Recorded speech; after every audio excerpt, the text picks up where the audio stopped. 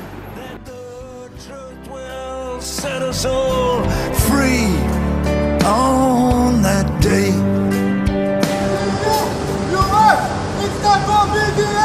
And we shall overcome on that day.